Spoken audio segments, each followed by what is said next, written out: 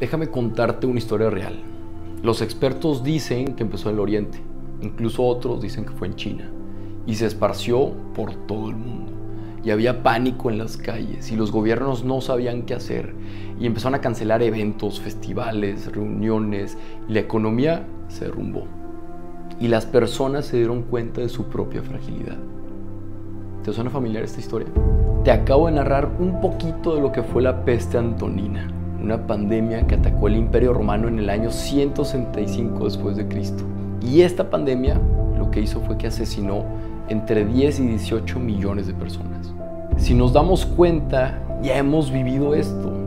Y a mí lo que se me hace bien interesante es que, ¿qué fue lo que hizo el emperador Marco Aurelio en ese tiempo? En lo personal hubo tres cosas que a mí me inspiraron muchísimo.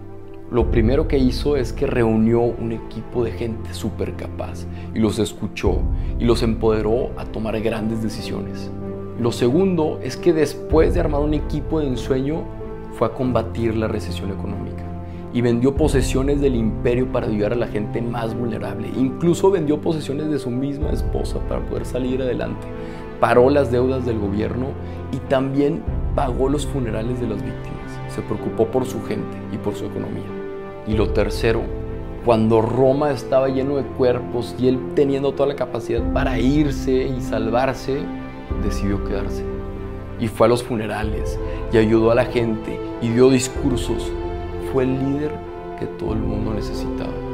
Porque cuando la sociedad se está cayendo a pedazos, es cuando los líderes salen a reconstruirlas con sus propias manos. Sí, quizá el coronavirus nos está llenando de incertidumbre, de miedo, de aislamiento, pero tenemos que hacer lo mismo que aprendieron los romanos. Tenemos que hacer equipo, tenemos que colaborar, tenemos que ser solidarios, tenemos que ver por los más vulnerables y ayudarnos entre nosotros, pero sobre todo tenemos que ser más humanos y empatizar y colaborar y ayudar. Entonces, ¿qué podemos hacer? Primero, dar gracias, dar gracias por todo lo bueno que está pasando, porque estamos más unidos que nunca, aunque no podamos abrazarnos.